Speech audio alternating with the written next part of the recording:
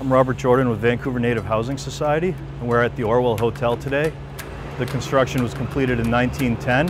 It's a 55 unit SRO building in Vancouver's downtown east side.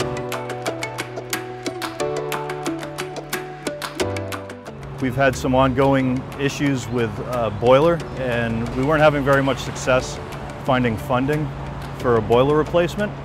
And uh, we called BC Nonprofit and they came down very quickly within a week or two and they did a level one energy audit walkthrough and that's how it all got started.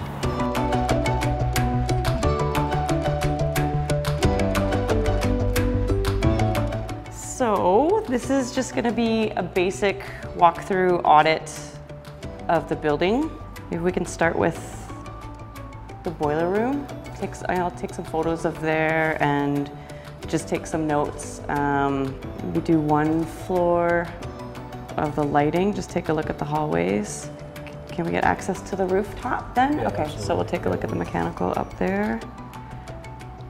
Great. So let's see your boiler room. Okay, Okay, great, thanks. let's go.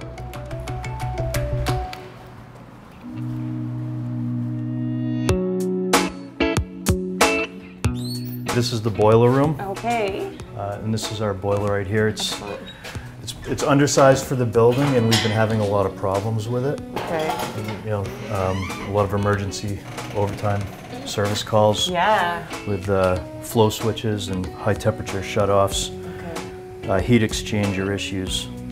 Do you know, do you remember how old this is? It's actually not past its useful life, but because it's undersized, um, it's, It's working hard. it, it's working hard and, and it appears older than it is. Okay. I think uh, there's definitely some conservation measures we can do there, either with a condensing unit or even looking at um, like a heat, heat pump, uh, Yeah, domestic hot electric. water. Yeah. This is an interesting piece. the old boiler, Yeah, that's coal-fired. wow. All right, and I see you've got your tanks over here. I'll take some photos of those as well. We'll need to replace those as well. Okay. Wow, there's a, T12s. yeah, they still, Yeah. they're still here. If you come take a look and you can see the way it flickers, Oh yeah. that's how you can tell it's a magnetic ballast. We have some opportunities for uh, incentives to change those. Uh, yeah, there'll be some, there'll definitely be energy savings on the T12s. And um, yeah, the payback from the energy savings is actually pretty quick. Mm-hmm. Oh yeah, there's another one. Got another circular fluorescent, No opportunity there. yeah.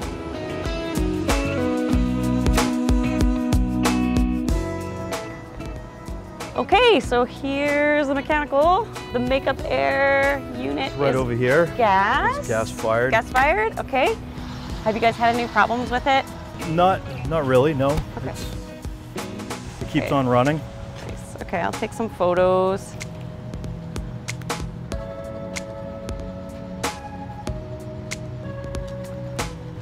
And you got some heat pumps over here too? Yes. So these are serving the main floor. That's the the offices? Yes. Common areas. Okay, common areas, yeah. Okay.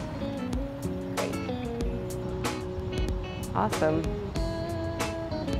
You guys got a nice view. It's great. So I've put together a report for Robert at Vancouver Native Housing and their Orwell Hotel based on the audit that we've just done. And what's really nice about these reports is that um, Robert can send this to his board and they can take a look at what their options are. I mean, they do have some equipment that's failing right now that definitely needs to be replaced. But you know, they can take a look and see in future years, maybe they want to do their lighting, um, you know, the following year, and they can plan out their finances. Uh, working with Robert and other property managers, um, what's really great about it is that we can give them a little bit of assistance, um, providing them what their next options are, and then they can get to work on those, helping their clients so they can save money, save energy, and just be able to support their tenants even better. And that feels great. So on, the, on these bigger issues like boiler repairs or building envelope issues or, or energy retrofits, they don't necessarily fall within the scope of uh, regular maintenance or replacement reserve uh, funding. And we have to follow a very uh, strict procurement process. Uh, and it can get really complicated when you have uh, multiple utility companies or working with uh, multiple government agencies. And the BC Nonprofit Housing Association really helps us to navigate that process.